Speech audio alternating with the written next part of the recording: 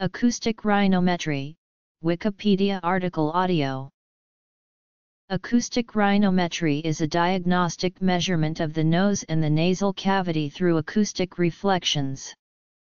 It can be used to measure nasal anatomical landmarks, nasal septum deviation, and nasal airway changes in response to allergen provocation tests. This test has been developed from methods that were used to measure lower respiratory tract resistance. The test is carried out by generating an acoustic pulse from a speaker or spark source and this sound pulse is transmitted to the nose along a tube.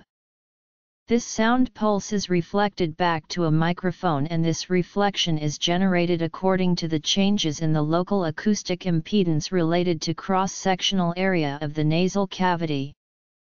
The microphone transmits the sound signal to an amplifier and to a PC which processes it an area distance graph.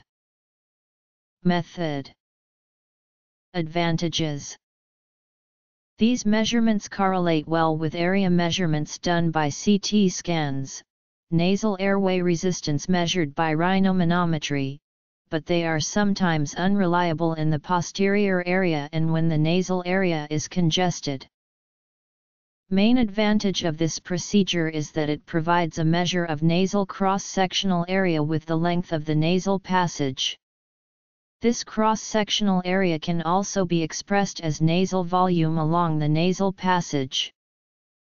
Minimum cross-sectional area of nasal passage within normal levels is 0.7 cm 2 which ranges around 0.3 to 1.2 cm 2. During decongestion it can increase to around 0.5 to 1.3 cm 2. Accuracy of this method is dependent on the interface between the nose and the equipment.